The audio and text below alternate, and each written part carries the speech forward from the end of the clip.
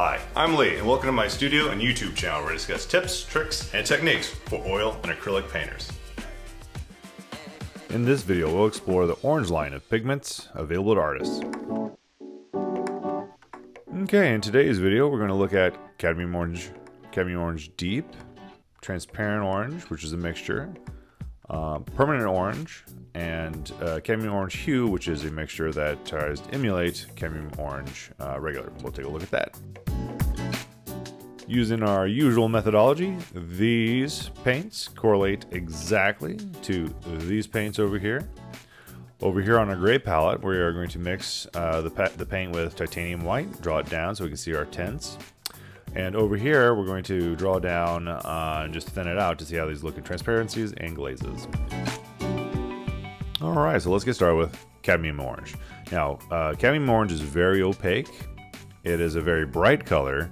Um, it's really hard to try and, and mix this color. It's a it's a very high value, high saturated um, uh, color, um, but it works really well for uh, if you want to neutralize uh, blues. It's just a little bit of this goes a long way.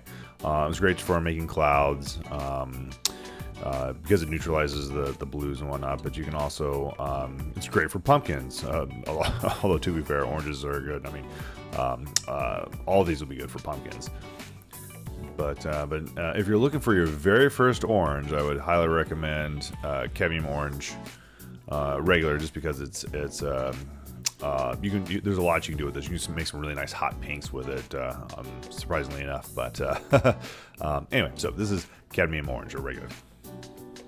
All right, so let's move on to cadmium orange deep. Now, cadmium orange deep is um, still has is still within the cadmium orange family, but it's a very red cadmium orange. Um, it, uh, I mean, you're getting pretty close to cadmium red light at this point. Um, any further, and you'll definitely be into the cadmium reds. Um, but it has a really, um, it has its it has its uses. It's not quite as useful, in, in my opinion, as the as the orange here or as the uh, uh, regular. But uh, you know, as we mix it up a little bit, you can definitely see how interesting it is you can have two oranges that have um, same same color family, but the one has a yellow bias by comparison to a red bias as, as in this one.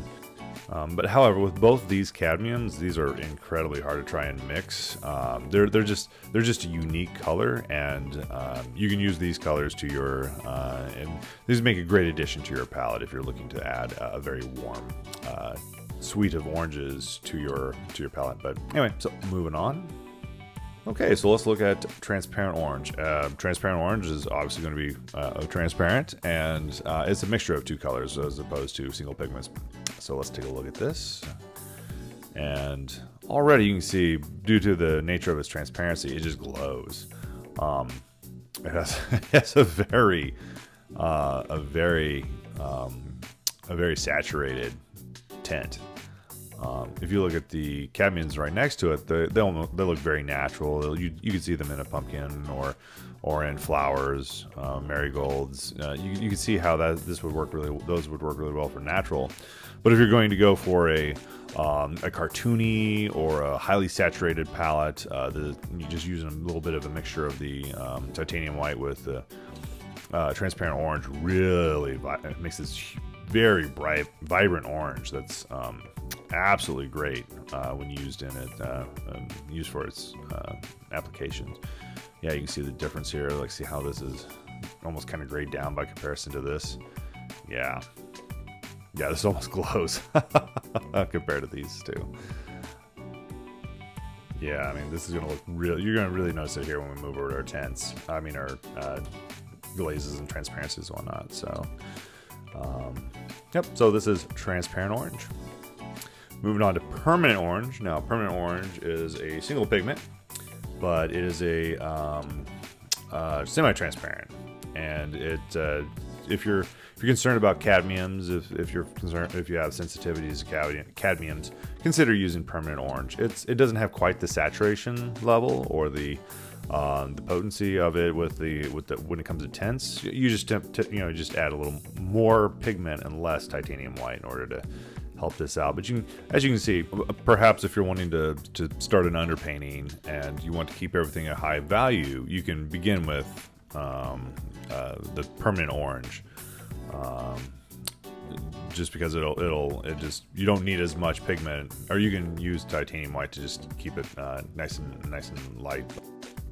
But you can see it has it's it's similar to the uh, traditional cadmium orange um, in its in its hue. That it's it, it, it doesn't have a red bias or a super yellow bias. And uh, also keep in mind this is a semi-transparent, so um, it won't have the, the, This is transparent. These are opaque, so slightly different properties by nature on all these. So, all right, let's take a look at our last guy here, and this is uh, cadmium orange hue, which tries to emulate cadmium orange. Um, it's a mixture, and um, so let's see how uh, this these properties work. All right, so as we begin mixing it, we can definitely see that. Okay, yeah, no, it's it's got a it has a little bit of uh, doesn't have nearly as much tint strength. Of course, this is this is this particular tube is a as an as an alkyd, so it'll it won't have may not necessarily have quite as much pigment load, um, just because it dries faster. It has a little more uh, medium in it. Um, but yeah, so as we look at it, um, yeah, it it certainly has that vibe of the cadmium orange. Um, um, it does lean a little warmer than uh, true cadmium. Uh, may not necessarily be this may not necessarily be easier to easy to see on the on the in the video, but on in in on the palette itself, it looks a little warmer. Uh, not by much, but it, uh, it's noticeable. But yeah, so um, I think I still prefer the cadmiums, uh, the the um, oh the, um, the regular cadmium, not not necessarily the deep.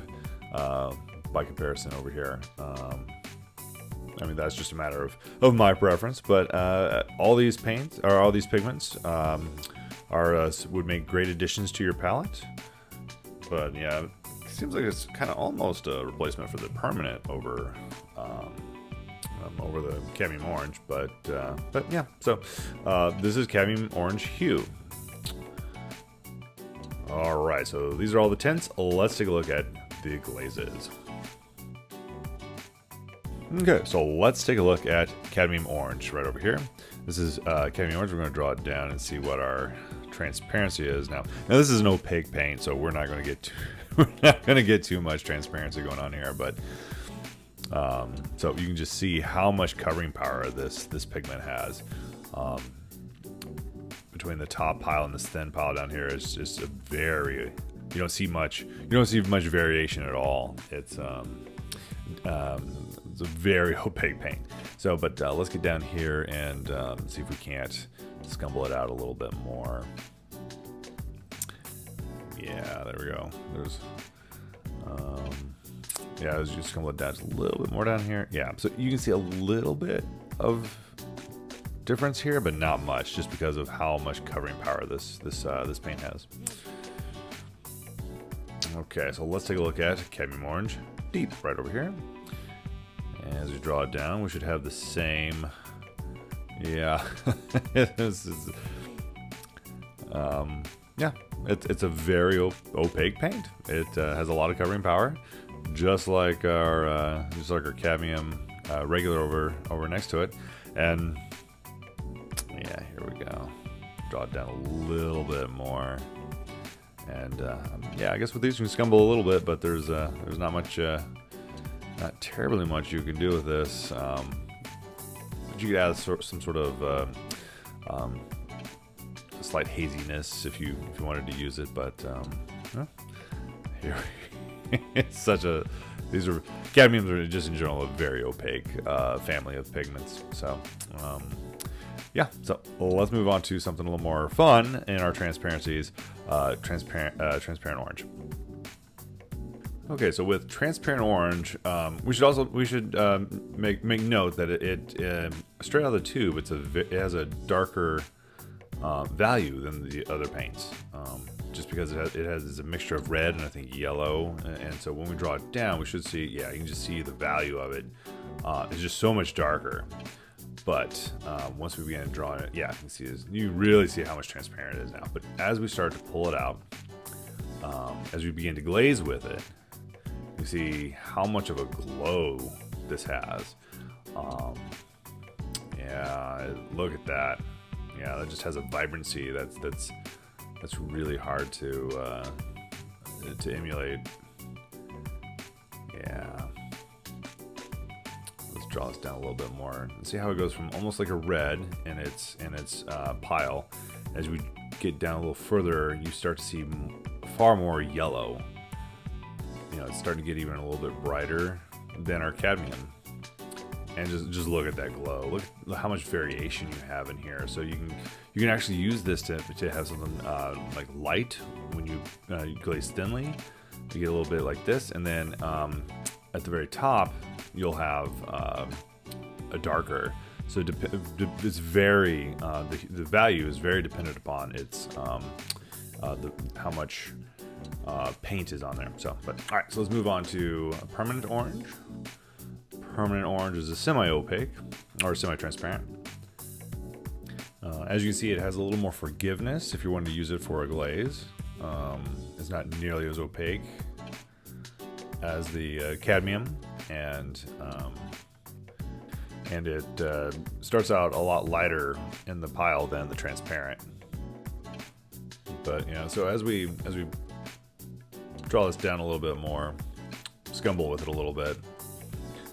See, it has a little bit of a um, sort of a cross between the, uh, the the value of our cadmium and the a little the value of the cadmium and a little more uh, a little more not quite as transparent as our transparent orange.